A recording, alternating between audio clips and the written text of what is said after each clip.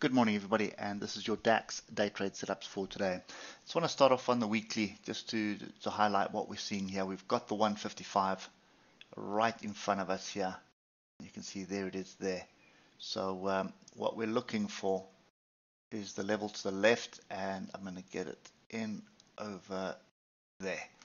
So that's kind of the area that we are looking at at the moment. You can see we are sort of flirting with what's going on here looking like a pretty clear flag break at the moment. Obviously, we want to see a retest of that break before we start getting too excited about it. And being the weekly, that's going to be a bit of a, a wait for that to happen.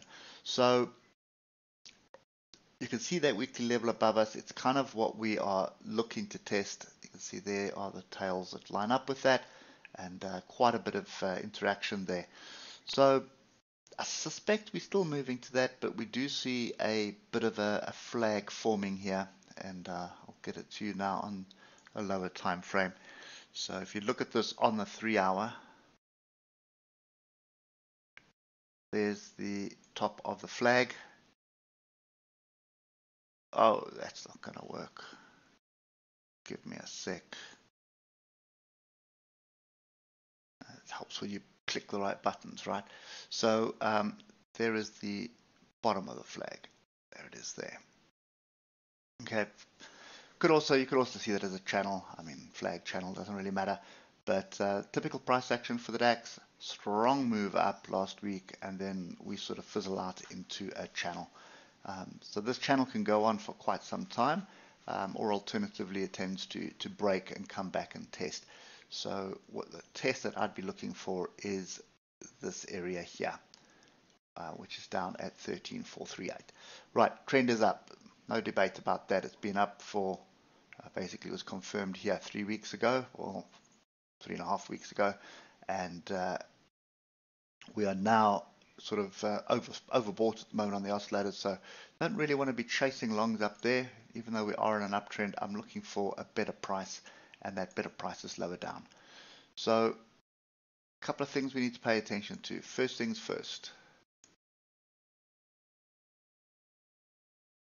We have this area that was tested yesterday and you can see Europe, it's been a typical thing. Europe runs and then when the USA comes online then it's sort of just all over the place and you can see the same thing happened last night. So right now, if you look at this bottom trend line and you look at that trend line there, horizontal, that looks like a flat, a flat bottom triangle, or flat top triangle, should I rather say. So you see there's the top of the triangle, there's the bottom. So that is consolidation structure. Trend is up. I'm looking for a retest of um, structure for an opportunity to buy. Now, I don't really want to hold it in the Europe in the US session, and you can see why. So for me, use another level down here. This is what I'm looking for. I'm looking for 13613 or alternatively 13594.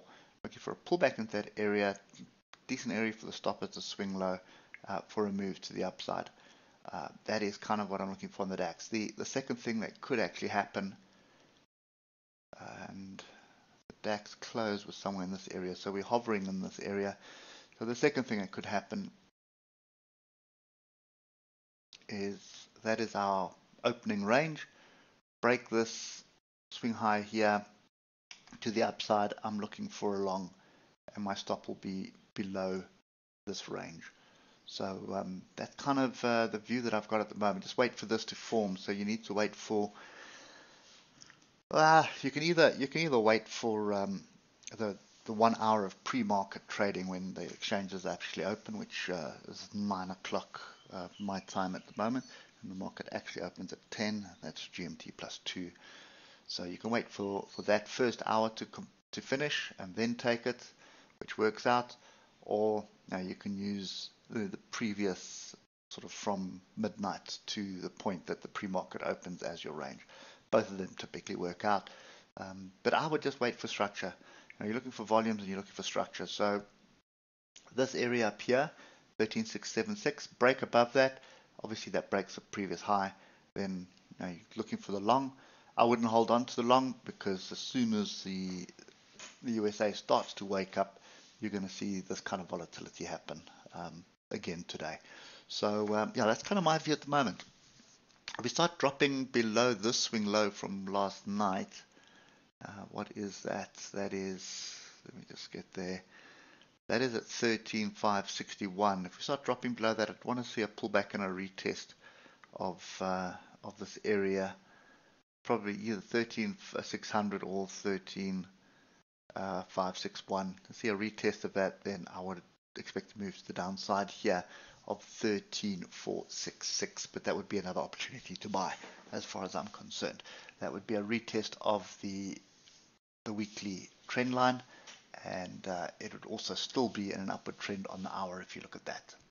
Okay, so when you see the moving averages this strong and pointing up like this, kind of silly to try and uh, bet against it. So uh, you're looking for opportunities to buy.